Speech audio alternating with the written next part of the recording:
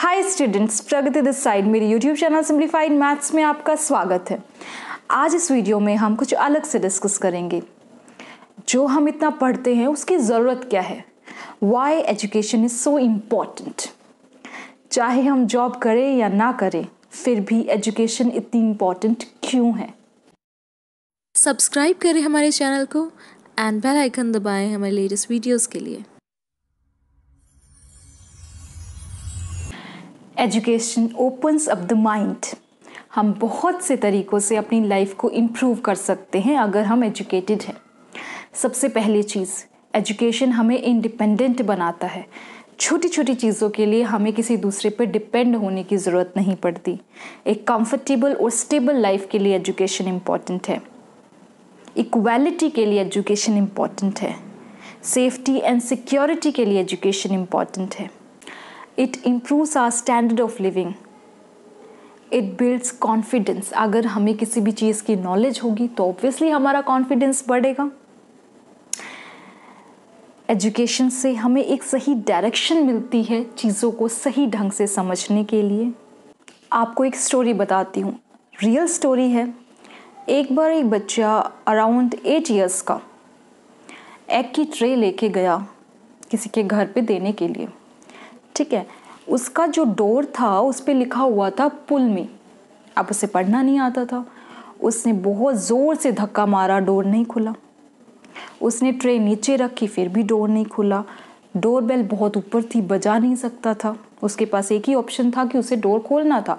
उसने बहुत आवाज़ भी लगाई, किसी ने सुना नहीं। काफ़ी टाइम हो गया, around ten to fifteen minutes. कुछ देर बाद एक दूसरा बच्चा आया, उसी की एज का, एट नाइन ईयर्स का। स्कूल से आया था। उसने आराम से आते ही डोर को खींचा और डोर खुल गया। अब जो बच्चा एजुकेटेड नहीं था, वो हैरान रह गया। मैं तो इतनी देर से इतनी मेहनत कर रहा हूँ, फिर भी मुझसे डोर नहीं खुला। और इसने बड़े आराम से खोल दिया। तुरंत उसे ऑब्वियसली थोड़ा तो बुरा लगा ना।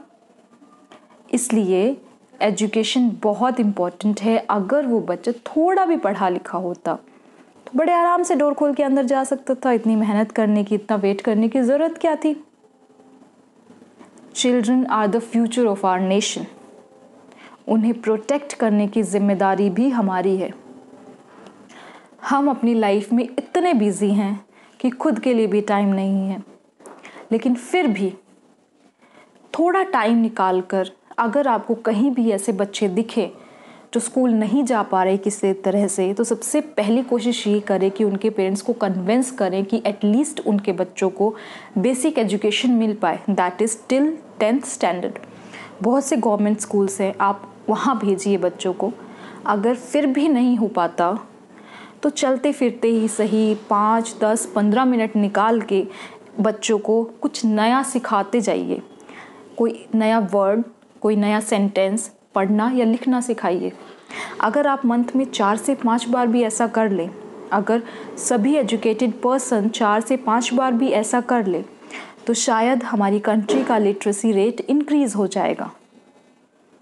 तो आज एक प्रॉमिस करें खुद से, अपनी लाइफ को वेस्ट नहीं करेंगे और विद्या दान करते चलेंगे। So start from where you are use what you have, do what you can. Jai Hind.